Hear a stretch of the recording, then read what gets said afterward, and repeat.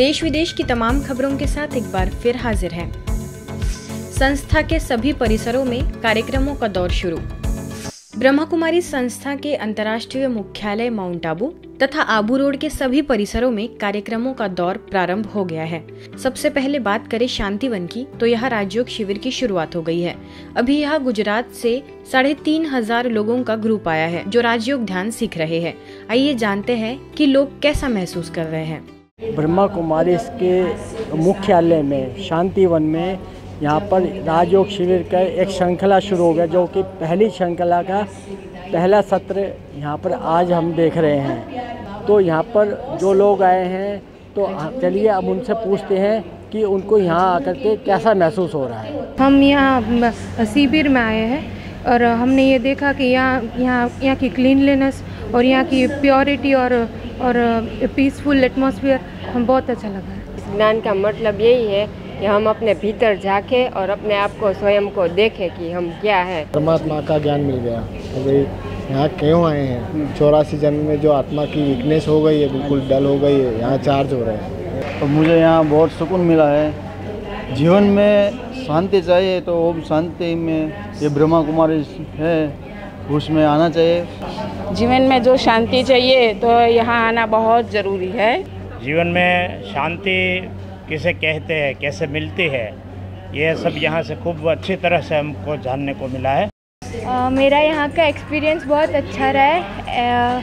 जो यहाँ inner peace यहाँ आने से ही कुछ अलग वाइब्स मिलता है हमें। बहुत अच्छा लगा। ऐसा लगता है कभी मैं ज़िंदगी में जी रही हूँ।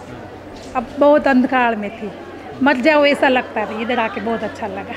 को एक अनुभूति हुई कि जो हमने हमारे जो मन में क्वेश्चन थे वो वो ऑटोमेटिकली बाबा के सामने देख के हमको हमारे जो क्वेश्चन थे उसके आंसर हमको मिल गए। मेडिटेशन करती थी उससे मुझे मेरे मन में शांति और, और मेरे माइंड में कुछ मैं जो भी पढ़ती थी वो मुझे मुझे याद रहता था यहाँ के आगे हम हमारे बच्चे को बहुत शांत हो हो गया और पढ़ाई में भी आगे होते हैं। और इसलिए तो मेडिटेशन कराते हैं। कि एक्चुअली परमात्मा कौन है और उसे कैसे पाया जाता है? उसके विषय में जो ज्ञान था और जो अभी मिल रहा है उस वो बहुत ही बेहतरीन है और उससे हम आगे बढ़ सकते हैं। सभी शहरों में ब्रह्मा कुमारी सेंटर है।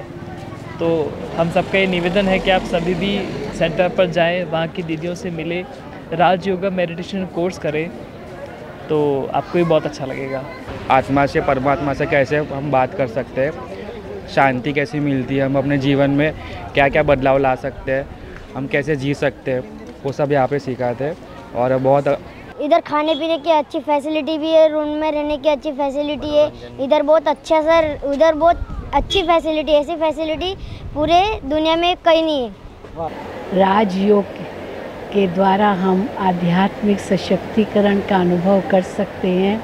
इस विषय को लेकर के राजयोग से संबंधित कई इसमें क्लासेस होती है लेक्चर्स होते हैं, राजयोग का अनुभव कराते हैं और जो भी यहाँ आते हैं, एक अमिट छाप अपने जीवन पर लगा के जाते हैं। बात करें मनमोहिनी वन की तो यहाँ हृदय रोगियों के लिए कैट कार्यक्रम चल रहा है। इसमें पूरे देश भर से डेढ़ सौ हृदय रोगी पहुँचे हैं। उनकी दिनचर्या से लेकर उनके ध्यान साधना और मेडिसिन के साथ मेडिटेशन की पद्धति सिखाई जा रही है। तीसरे परिसर मानसरोवर में भी कार्यक्रम शुरू हो गए हैं। देखिए उनकी एक झलक। और यहाँ का माहौल एकदम रमणीक है नेचुरल है और यहाँ पे एकदम शांत है साइलेंस है। किसी तरह का डिस्टरबेंस नहीं है। काफ़ी अच्छा लग रहा है और जाने का भी मन नहीं कर रहा है। मेरे को तो लगता है जैसे मैं स्वर्ग में ही आ गया और स्वर्ग पता नहीं कैसा होगा। मेरे को तो यही स्वर्ग लग रहा है।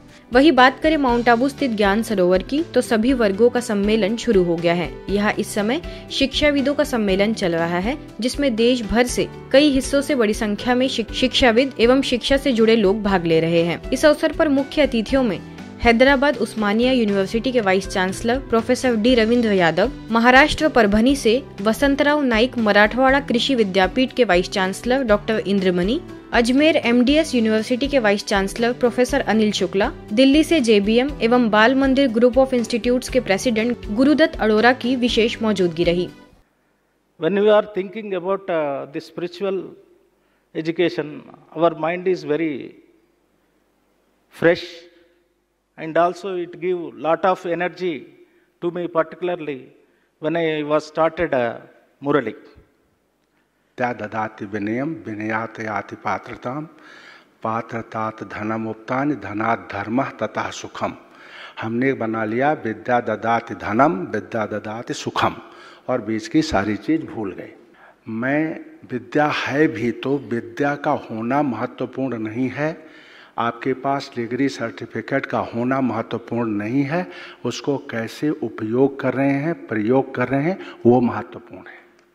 ब्रह्मा जी के पुष्कर सरोवर से, ब्रह्म कुमारियों के ज्ञान सरोवर में, ज्ञान का गोता लगाने के लिए आया हूँ कि अगर मैं कुछ बदल सकूँ तो अपने विश्वविद्यालय और समाज को भी बदलने की कोशिश कर सकूँ।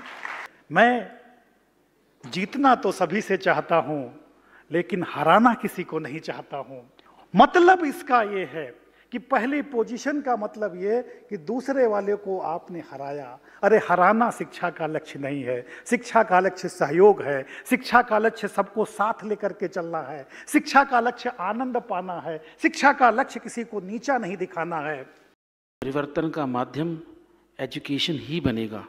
एजुकेशन ही वो काम कर सकता है जो चरित्र निर्माण का काम हमें सौंपा गया है समाज द्वारा। हम सबकी एक जिम्मेवारी है। हम अपने गुरुओं से जो हम सीख पाए कि अगर हम ठीक तो हमारा विद्यालय ठीक। हमारा विद्यालय ठीक तो ये जगत ठीक, ये संसार ठीक। अवसर पर global transformation through spiritual education विषय के तहत संस्था की संयुक्त मुख्य प्रशासिका राजयोगिनी बी के सुदेश दीदी, ज्ञान सरोवर की सहनिदेशिका बी के प्रभा, प्रभाग के अध्यक्ष एवं संस्था के कार्यकारी सचिव बीके डॉक्टर मृत्युंजय भाई, प्रभाग की उपाध्यक्षा B K Sheelu, value education programme के director B K doctor Pandyamani, distance value education programme के मुख्यालय संयोजक डॉक्टर आर पी गुप्ता और प्रभाग की मुख्यालय संयोजिका बी के शिविका ने अपने विचार रखे।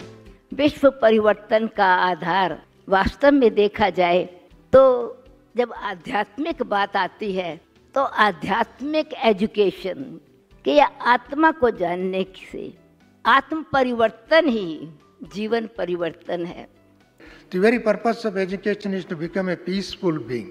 किसी भी परिस्थिति हो, किसी भी कंडीशन हो, उन्हें शांति दूत बन करके रहना लवफुल होकर करके रहना, और लाइट एंड माइट बन करके रहना, और दूसरों को भी उसको एनलाइट करना एम्पावर करना एनरिच करना ये पर्पस है। परंतु उस पर्पस से हम लोग आगे बढ़ रहे हैं। शिक्षा में चार स्तंभ बताए जाते हैं। Learning to know learning to do learning to be and learning to live together. विश्व धरोहर दिवस पर विशेष आयोजन। हर साल 18 अप्रैल का दिन दुनिया भर में वर्ल्ड हेरिटेज डे के रूप में मनाया जाता है, जिसका मकसद देश में मौजूद सांस्कृतिक और प्राकृतिक स्थलों को संरक्षण प्रदान करना है, क्योंकि ये धरोहर ही आगे आने वाली पीढ़ियों को अतीत की मानव सभ्यता से जोड़ने का काम करती है। इसी विचार के साथ जयपुर में ब्रह्मा कुमारी के बापूनगर सेवा केंद्र द्वारा भव्य शाही गौरवमयी विरासत, प्राचीन संग्रहालय अल्बर्ट हॉल के सामने विशेष संगठित मेडिटेशन किया गया। साथ ही मातृभूमि के संरक्षण के लिए सभी से प्रतिज्ञा पत्र भी लिखवाया गया। बी के बहनों द्वारा स्थानीय लोगों को परमात्मा संदेश देने के साथ प्रत्येक दिन विश्व को शांति के प्रकम्पन फैलाने का आह्वान किया गया। ग्वालियर माधवगंज स्थित प्रभु उपहार भवन में चैत्र नवरात्रि के पावन अवसर पर चैतन्य देवियों की झांकी एवं सांस्कृतिक कार्यक्रम का आयोजन किया गया। इसमें अनेकानेक लोगों ने चैतन्य देवियों के दर्शन किए। कार्यक्रम में स्थानीय प्रभारी बी के आदर्श ने सभी को नवरात्रि का आध्यात्मिक रहस्य बताते हुए कहा कि नवरात्रि का पावन उत्सव हमें हिंसक वृत्तियों पर विजय प्राप्त करने की प्रेरणा देता है। उन्होंने आगे बताया कि वास्तव में अपने अंदर की बुराइयों और कमी कमजोरियों को समाप्त करना ही सच्चा व्रत लेना है। इस अवसर पर कार्यक्रम में उपस्थित वरिष्ठ आयुर्वेदिक डॉक्टर कमल गुप्ता और निर्मला गुप्ता ने भी सभी को नवरात्रि की शुभकामनाएँ दी। कार्यक्रम में चैतन्य देवी दर्शन झांकी के साथ साथ बच्चों ने विभिन्न सांस्कृतिक प्रस्तुतियाँ दी। इस आयोजन का 200 से अधिक श्रद्धालुओं ने लाभ लिया। आगरा के सिकंदरा सेवा केंद्र द्वारा भी नवरात्रि के पावन पर्व पर चैतन्य देवियों की झांकी का आयोजन हुआ। झांकी का शुभारंभ विधायक पुरुषोत्तम खंडेलवाल के द्वारा दीप प्रज्वलन कर किया गया। साथ ही उपस्थित रहे मनोज सेंगर, मनोज बघेल, मनीष अग्रवाल, सेवा केंद्र प्रभारी बीके सरिता एवं बीके मधु। सिद्धिदात्री महागौरी, शैलपुत्री कात्यायनी माँ लक्ष्मी माँ महागौरी माँ काली माँ सरस्वती आदि देवियों के चैतन्य स्वरूप सजाए गए। साथ ही इस अवसर पर राजयोग आध्यात्मिक प्रदर्शनी भी लगाई गई। सेवा केंद्र प्रभारी बीके सरिता ने बताया कि राजयोग आपके जीवन को पूरी तरह बदल देगा। हमारे अंदर जो असीम गुण और शक्तियाँ विराजमान हैं, उन्हें हम राजयोग के माध्यम से विकसित कर हमारा जीवन भी देवियों की तरह दिव्य बना सकते हैं। यह नवरात्रि पर्व सिर्फ़ उत्सव का पर्व न होकर उत्सव के साथ साथ अपने जीवन को दैवी शक्ति से भरपूर करने का पर्व है।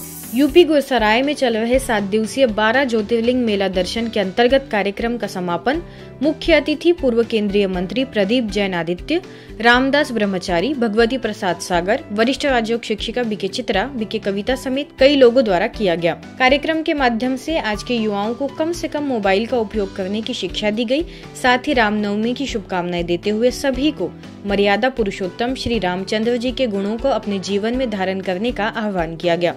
बीके बहनों द्वारा पर्व का आध्यात्मिक रहस्य समझाते हुए यह कहा गया कि अपने जीवन में काम, क्रोध, लोभ, मोह, अहंकार का नाश करना ही सच्ची सच्ची रामनवमी मनाना है।